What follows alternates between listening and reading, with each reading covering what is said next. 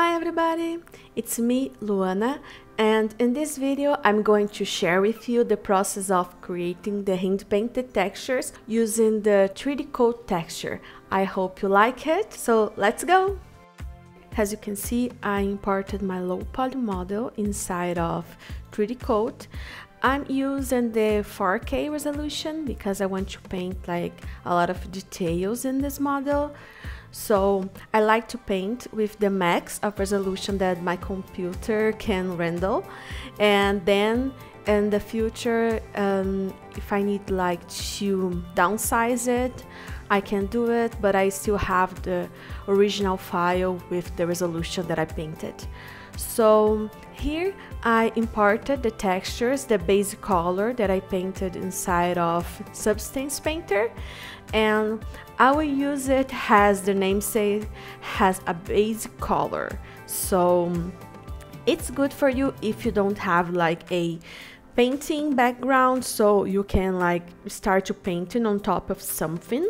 So not like a blank canvas. So I will start here. As you can see I'm adjusting the symmetry and sometimes you see in the video that I have another model floating on top of this one, but this is because the model is not symmetrical.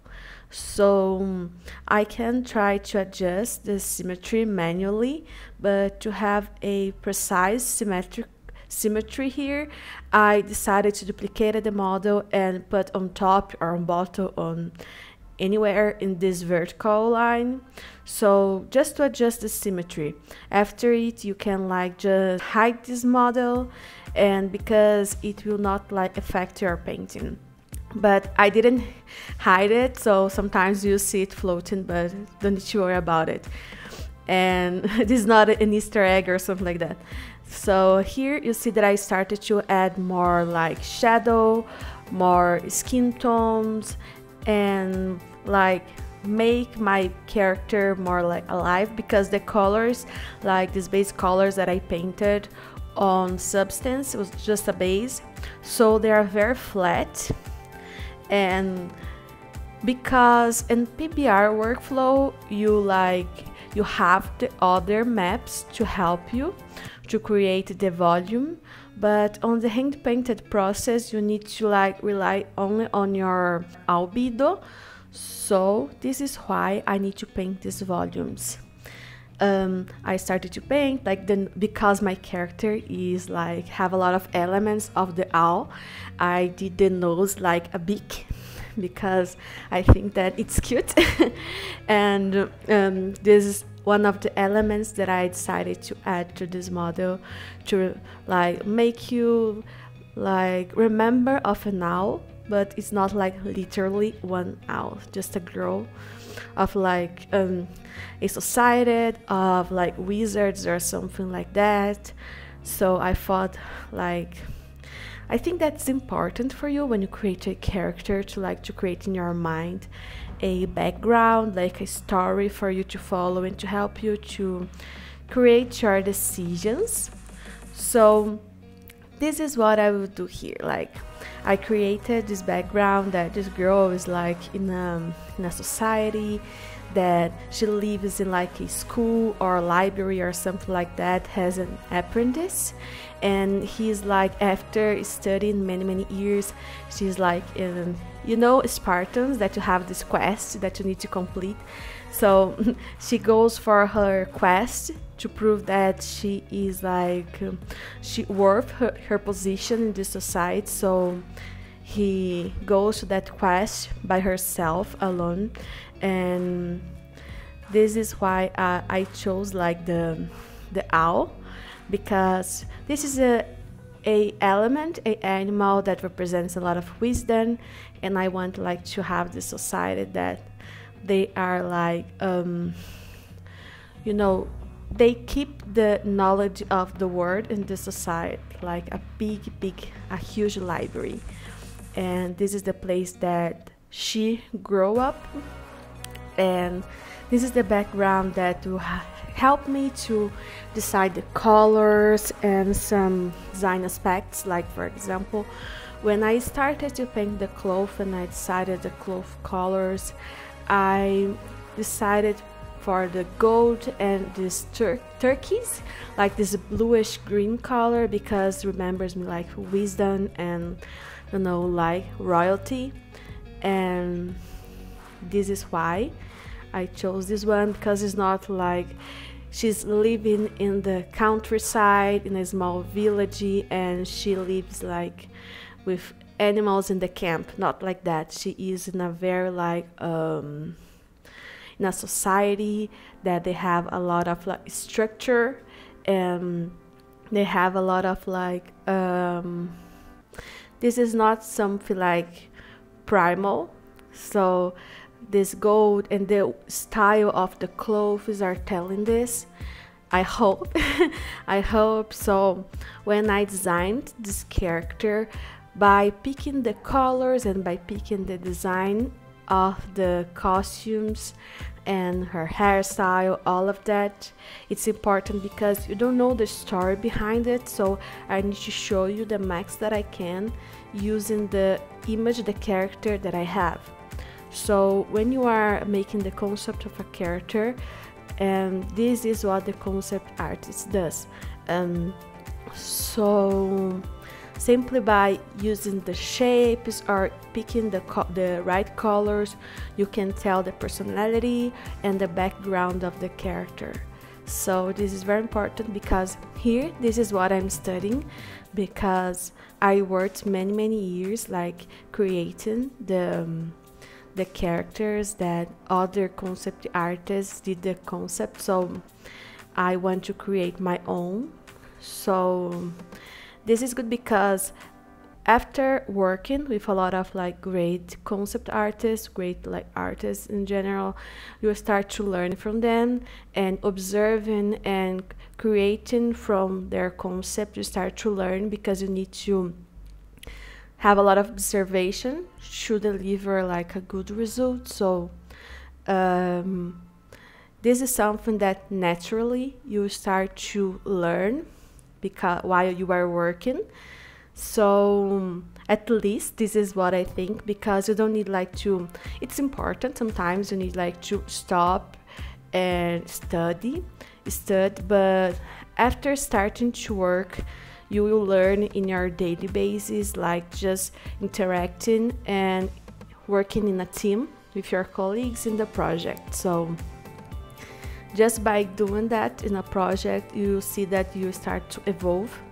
So the main like uh, tip here is like to don't stay like many many times just doing the same thing over and over again.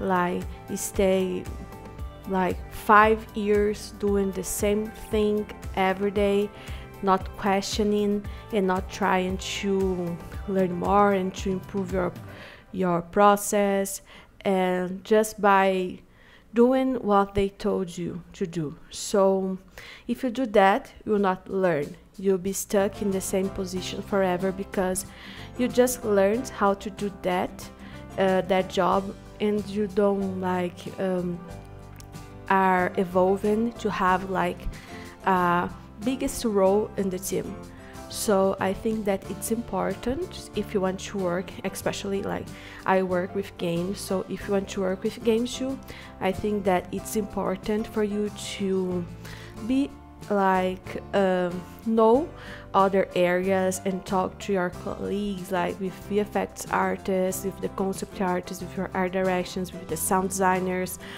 because they will teach you a lot and to be a good like artist in the game industry you don't need like to be just a good artist.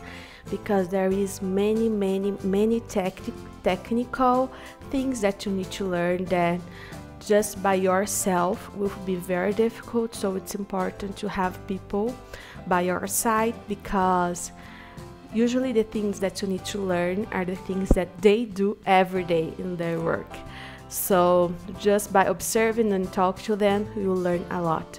I'm not saying that that you need to be close to people because you want to learn something not that. It's most because because uh, it's good to have a good relationship with the team. And by keeping like learning every day this will make you a better a better artist and when you work with games you kind of stop to being just an artist. You need to become a game developer. And this is what makes a artist good because sometimes you, you are not the best artist in the world but you are the best artist for the project because you know so much about the technical specifications about what the games needs maybe the games doesn't need the best artist in the world because the art don't fit the game style but they need you because you know exactly what this project needs so this is something that I wanted to share while I'm painting. So returning, come back, coming back to the painting process because I think that I'm like kind of making a lot of philosophy here. So um, here um, I return to the skin, I'm painting some details in here, some shading. You see that I go back and forth a lot of times. I will paint a bit of the face and then I go to another part, like I will paint a bit of the hair and then I go to the clothes and I like to evolve the whole model together because if you paint all the face and finishes the face and don't have the other parts uh, when you start to paint like the other parts of the model you see that it's not matching and you need to fix it. So it's good for you to like paint a bit one part and then go and paint another one. And here in this model it's a bit easier because I already have the basic colors but if I don't usually the first thing that I do is by uh, I start by creating a layer like just with the base colors just one layer with skin. And I make like just one solid color skin. And hair a layer with the brown hair and the eyelashes and another with the red scarf and another one with the green parts of the cloth and another one with the gold so I create like one layer by each material or color and I start to paint it with all that information because for me I can't like start to paint like the face if all the rest of the model is in gray for example. This will not work. So um, here it's a bit easier. As I said because I already have as I said because I already have this base color information. But sometimes you'll not have the time for doing that or maybe you need like to if you have the time because a lot of people like are faster in substance painters so it's good to have it because you can use like this like your id colors your id maps to select the the space or um, but you don't have the time for your substance. You do it like manually creating layers for you with each color in here. And one thing that I think that is like good to mention about 3D Coat is that he have a very good like uh, interaction with Photoshop. So for me it's like um, a 3D Photoshop that I can like always jump to my uh, Photoshop that the 2D one because by pressing Ctrl P I can like jump there and I adjust the things that I want and then I come back. So it's very like fast for me to work in here. So um, I really like to paint in here sometimes something that I often like lesson people asking why I don't do my hand paint textures using the substance because in here the way that I paint is more like um, for me looks more like Photoshop and I don't need to create many many masks and the workflow is more like painting like not just adding some material and adjusting masks with the highlight and the shadows and using the maps to make like the color color gradients for me. So here I created manually by painting like Photoshop. So this is why I use this one and many many other hand painted characters hand painted environment artists use 3D Coat for doing the hand painted textures. Um, maybe there is another new software that is has good as 3D Coat, but I didn't work with it yet, so this is the one that I use. And I know that's very used in the industry for this kind of art. So that's it. Um, let's let's talk now about the as you can see, there is a lot of times that I zoom out the model and I start to rotate. I'm doing that because I'm observing the model because I want to see the whole picture of it because sometimes you just zoom in and starts like to paint like crazy and spend so much time just one area and you forget about all the rest of the model so it's important to remember always that there is more than just one part or one side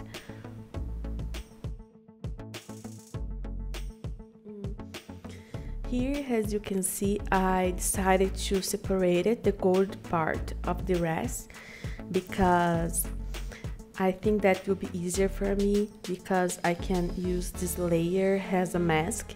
So I select this layer and by control clicking on it so I can like mask to just paint in the golden area and this will help me a lot because I don't need like to be careful all the time that I'm painting the gold because I just selected this material and I can like uh, tweak the color easily if I have it like separated in just one layer.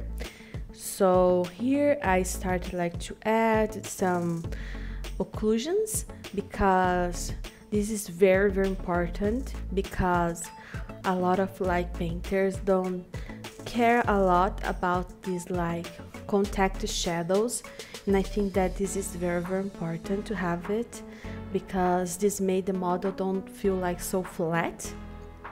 And I have like uh, I dedicated a long time for it in my models. So this is something that will make your model much much more like feel feeling like final not just like you selected a color and just fill the fill the layer with it. So you see that I'm painting the gold and after doing all these highlights and this gradient of colors I decided like to make some adjustments on Photoshop and this is the process going back and forth and I go to the Photoshop I adjust something and I come back in here. And you see that my painting is not like I'm not like being so careful and oh my god itchy like um, brush. Like every time that I touch the the the model I'm like calculating no I'm going like sometimes it's like in this part for example I'm like making some messy but it's okay it's okay it's not calculated because here I just want to see the values and the colors and after it I will return and I will refine the model.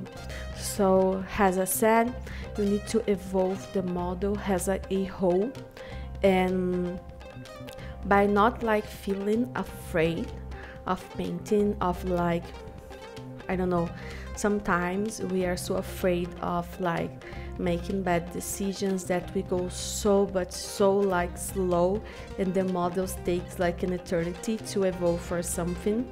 So but i like my that my workflow is more like about feeling. I feel that in some area need more color more saturation in another one don't need it and I go by painting and if I don't like it I will go there and paint it again. And I'm not afraid because this is a project that is by my for myself so I'm the director. So I need to test stuff in here and make decisions. So I will not like um, making good decisions if I don't test stuff if I take like an eternity to test things or if I'm afraid to like uh, ruin my process by painting something and then I don't like it and painting again I will not make good decisions. It's totally fine because I like to say that in here using using 3D Coat or Photoshop you don't need to worry about like ruin your canvas ruin your paper because you are putting a lot of like layers of of tint on it. So you can paint and repaint many many times that you want. So I'm testing the colors and if I don't like I just change it and I paint it again and again till I have the result that I want. So not being afraid of ruin stuff it's very important because makes you more like like a free child to test and learn stuff. And this is very important.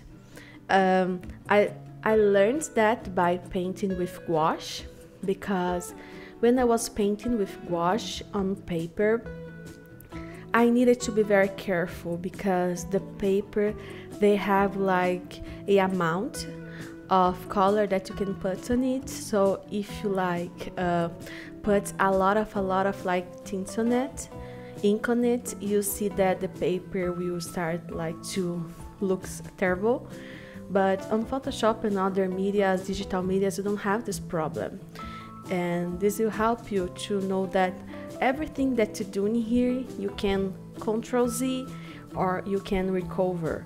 Like it's not it's not like final like in the traditional media. So let's use it in our favor and don't think about like like if you paint something that you don't like you like um, throw all this time that you spent on it on the garbage that you just like ruin it like oh my my day i just ruined my day because i painted this material all day and it don't looks good and I need to paint it again. No, no, you learned something and you do it again and in the next time will be better. So there is not that.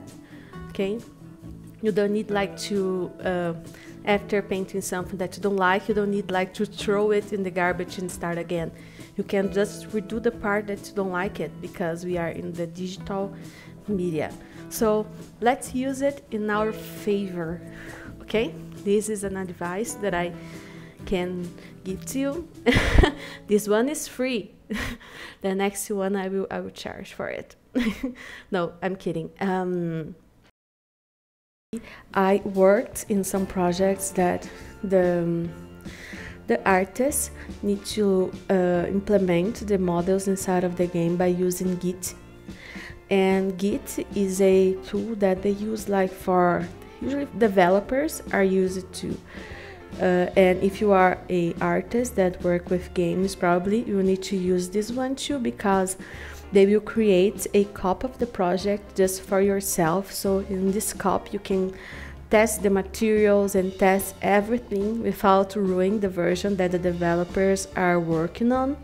So everything that you do in your git in your branch that's your copy of the project is something that will not affect the final game. So you can like broke a lot of stuff and and it's reversible.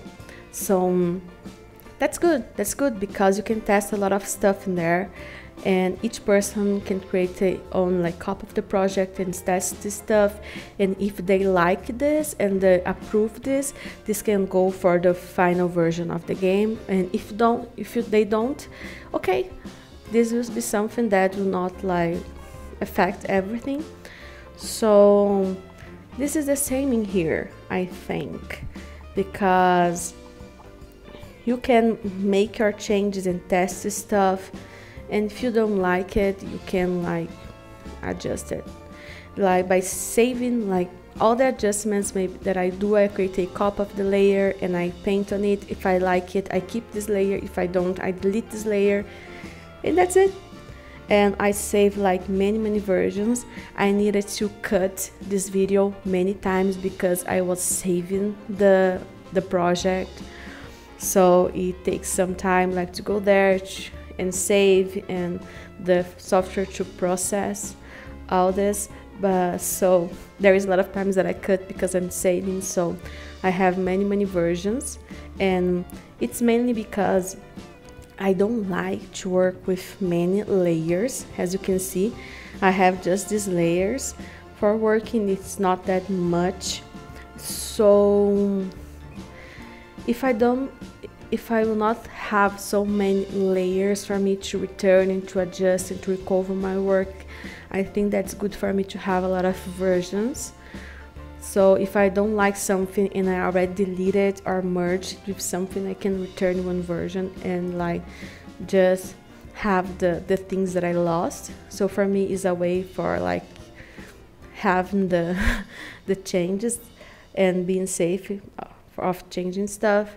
Here, um, as you can see, I'm testing like some kinds of fabric and if I like it or not like oh I tested if this kind of fabric looks good because there is a lot of like um, clothes and even furniture that have this kind of, of material like couches and stuff. So I think that would be nice to try to have a different material but I decide not to.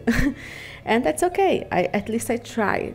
I tried and I saw that mm, I think no no no will be very noisy and I will try something else.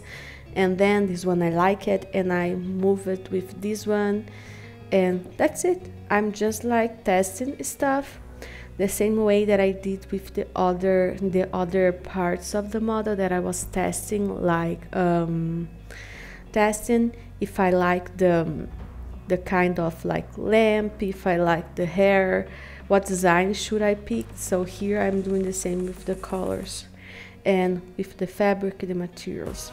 So this is totally like fine especially because I don't have a final design yet so I'm creating the design while I'm doing it. So I don't have a concept that I need to follow exactly like one by one. So if I don't have it I need to do it like I need to make the decision. So I will test everything that I, I'm doubt about because I want to make the right decisions for my model. So this is the way that I think. And yeah, I know that that I should make this decision on the on the concept stage, but uh, for my defense, I didn't have so many time for doing that, so I needed to move fast for the model because um, I had like a date for me to finish and I almost didn't I was didn't in time for a presentation that I was planning to do. And but I, I did it because if I spend like all the time just adjusting stuff in the concept maybe I would not have the time enough for doing the model.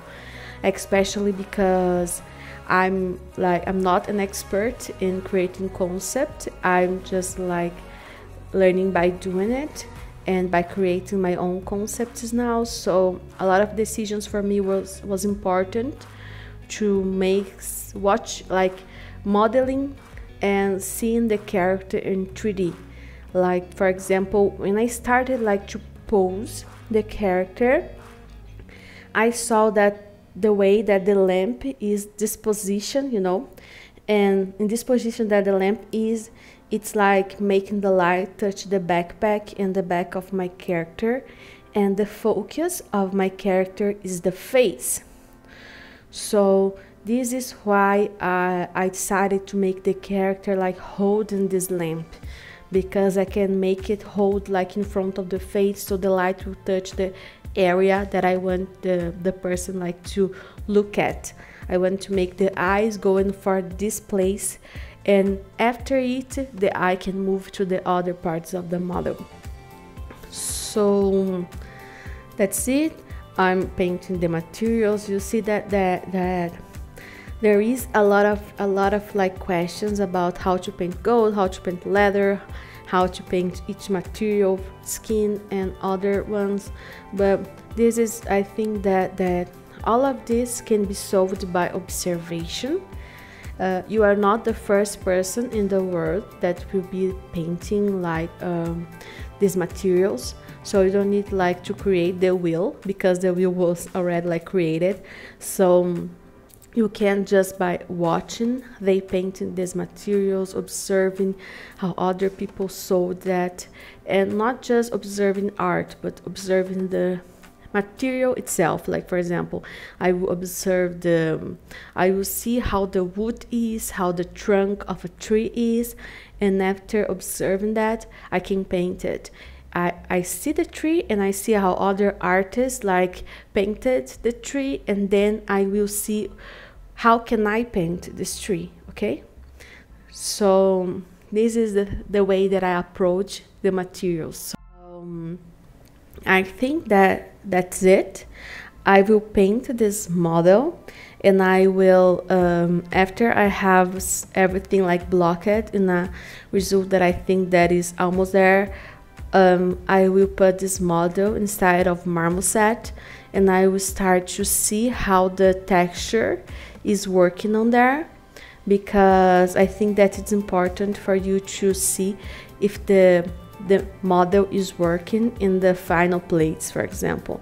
If the character is going to be in unity or unreal it's important for you while painting to see if the colors are okay if the materials are okay in this final place, in this final software, because the people will not see the character inside of 3D Coat or inside of Substance Painter or here like in this video they will I imagine because I created this character for being um, a character inside of a game I imagine that that it's important to see how it looks like in the final environment and this is why uh, here I use it as the engine for me to simulate like the real time, a real time place like software. I use it the, the Marmoset and I will test my character many many times in there and I will see how the lights are working.